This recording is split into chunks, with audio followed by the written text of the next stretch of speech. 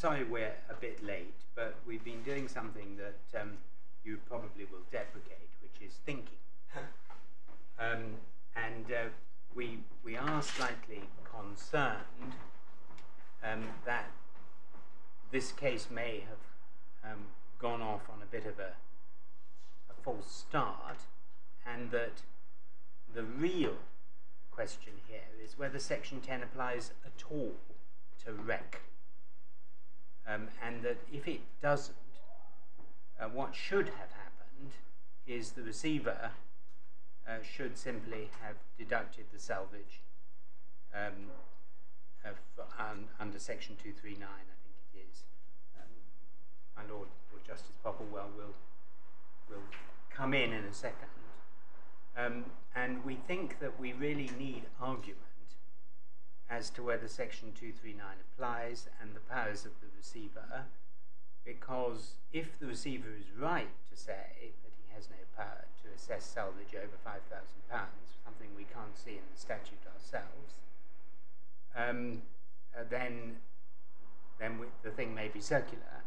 And it comes obviously from the thought we expressed yesterday to Mr. Smith um, that the question that, that, that, Section 10 is drafted in the present tense, in use or intended use, uh, which makes no sense when you're talking about 1942, um, and makes no sense in terms of an abandoned wreck either. Um, so Section 10 does seem to be in, inapt or inept, inapt to refer uh, to the situation in this case. But obviously, you and um, Mr. Smith will need a, an opportunity to address argument to that, and indeed to consider whether it's uh, uh, possible for us to um, consider the case in that way. Um, my Lord may want to, to add something, I'm sure he will. Um, yes, the the if something is is wreck, that is a carefully defined status. Uh, it is, for our purposes, derelict as legally defined, uh, and this cargo was treated as wreck and declared to the receiver of wreck uh, accordingly. Um, now, if the receiver of wreck uh, has power to determine salvage and an obligation as appears to be case under the statute, only to release against payment of salvage under 226 and um, 239, subject to security being provided. Uh, and if that is a decision for the receiver of wreck, uh, then it may be that uh, although proceedings for salvage of a wreck are permissible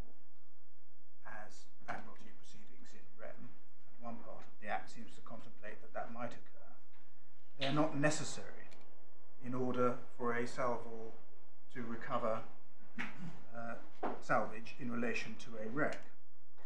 And if that's right, it may be said, well, there's no difficulty in construing Section 10 as uh, having really no application in the case of wrecks, so that the immunity is not removed because if a state retains its immunity relation to admiralty proceedings, uh, whether in personam or in rem, for salvage of a wreck, that doesn't leave the salvor without a remedy, which was obviously of major concern, uh, as I read it, that the, that, that, that the judge had.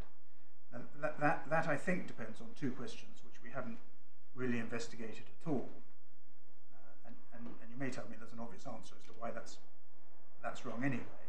It, it, first of all uh, requires an answer to the question as to whether the receiver of wreck has power to determine uh, salvage, which, uh, looking at the Act, it seemed to me that it does, uh, and it does expressly, and one has in the authorities statements of, of what its what its practice has been. I have in mind the Lusitania, where Mr. Richard Aikens, as he then was, said what the practice was um, I think there's a reference in a more recent case to Justice Tiers, which was a judicial review of that chap who um, found a lot of cannon and didn't, didn't declare it.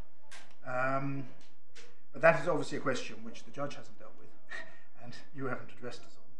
Uh, and uh, I am conscious that, the, that, in this case there was the letter from the receiver saying the receiver couldn't do that. Uh, at the moment, that puzzles me, at least. Uh, so there's that question. And there's also the question uh, as to whether um, immunity could in any event be prayed in aid so as to ensure release of the cargo without paying the salvage at all, contrary to uh, what appears in section 236, uh, 226 and 239, and in a way that the judge expressed some surprise if that were the case. But that, that question was parked by, by the judge, and, you, and we haven't had any argument on, on, on that either.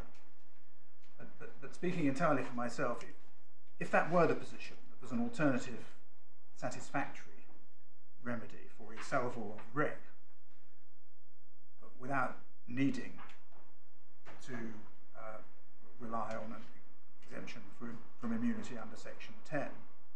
And Section, and section 10.4 is confined to situations in which, uh, to put it loosely inaccurately, the maritime adventure is still on foot, then it becomes really quite straightforward to construe use as meaning what it appears to say.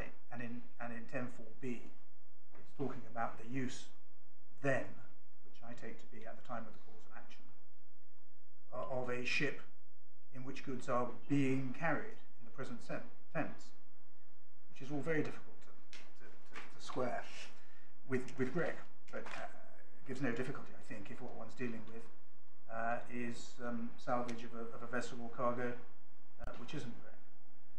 So that, that was the way my, my mind was working, and I don't pretend to have um, uh, researched it fully, and there may be some obvious answers why it's wrong. As I say, I, it does seem to me to depend upon those two points on which we haven't had argument, but that's, that's why we've raised it at this stage. I'm most grateful to Lordship. If I may add to that analysis, that if there is no uh, route through the Merchant Shipping Act and Section 10 is to be construed as inapplicable to wreck, uh, then of course we get into uh, human rights territory uh, and uh, the paragraph, whatever it was, 20 in Prestige, which summarizes the position, comes into effect. because in those circumstances, there is uh, potentially at least uh, a breach of uh, human rights uh, which would lead either to the statute being interpreted in a purposive way. I mean, just I, I, I speak for myself. I follow that. You, you I, follow, follow that, that point. It, yeah. It's, yeah. It's and um, so that's to add to the analysis, if I may say so. Um, what we'd quite like to hear from you on Mr. Hofmeyr and indeed Mr. Smith is, as, first of all, is there some open and shut answer to my Lord's point?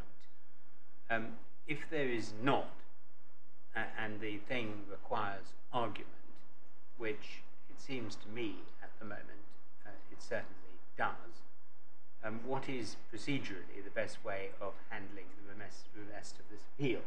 Um, obviously it would be a bit of a waste of our time to hear um, marvelous and erudite argument on the restricted theory, uh, which is very interesting, but may not be relevant if our construction of Section 10, our proposed construction of Section 10 and Section 239 in the Merchant Shipping Act is more relevant. So that's what we'd like you to think about. Now, I'm, I'm thinking that having dropped this bombshell on you both without warning this morning, although you may have got a clue from my Lord's request earlier, um, that you may want to take five or ten minutes to take some instructions and perhaps scratch your head um, before telling us your reactions. Is that a reasonable way to proceed?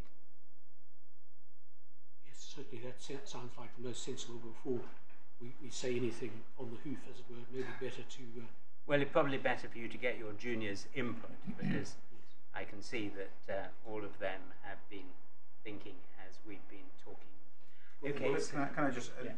you, you you might like to also to consider whether, uh, if one is going down this route of considering further argument on these points, it would be appropriate to involve the receiver of wreck in some way as to the receiver's powers, and so how, how that would be brought about procedurally. And there's the added additional problem that, in a sense, uh, none of those questions were the subject matter of the application before the judge. No, but that's the problem you need to think about. Yes. Um, I, I mean, it may not be possible for us to say more on this appeal uh, than Section 10 does or does not apply. Um, but you need to think about that. And um, Well, I think I would, in the light of this discussion and because of the human rights angles, I, I would invite your lordships uh, not to rule on the meaning of section 10 until such time as uh, these other questions have been resolved. but that, that I think is the answer. But, but, but we need to, you need to think about that before you say it. so Sorry, does Mr. sorry. Smith. And also, um, procedurally, we need to find a way of, of not wasting the court's time more than is absolutely necessary. So, you, you give some thought, perhaps discuss it with each other as well. Um, and I think if we say we'll resume at 11.15 in the first instance, is that all right? Thank you. Okay, good. All right.